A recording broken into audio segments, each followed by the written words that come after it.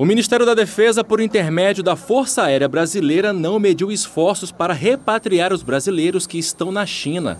Dois aviões Embraer 190 da FAB decolaram da Ala 1, base aérea de Brasília, ao meio-dia e 20 dessa quarta-feira.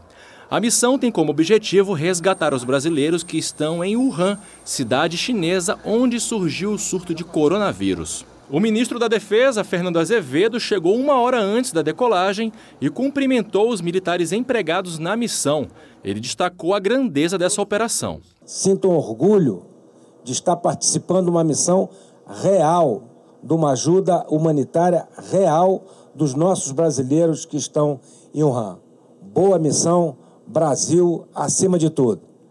De acordo com o plano de voo traçado pela FAB, serão feitas escalas em Fortaleza, Las Palmas, na Espanha, Varsóvia, na Polônia e Urumqi, na China. Os aviões Embraer 190 levam a bordo 18 tripulantes.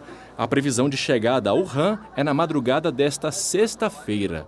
O trajeto de volta terá escala nas mesmas cidades, com destino à base aérea de Anápolis, em Goiás, no próximo sábado. Bom, nós temos o Instituto de Medicina Aeroespacial que trata desse tipo de, de atividade. O equipamento que embarcou veio do Rio, hoje de manhã.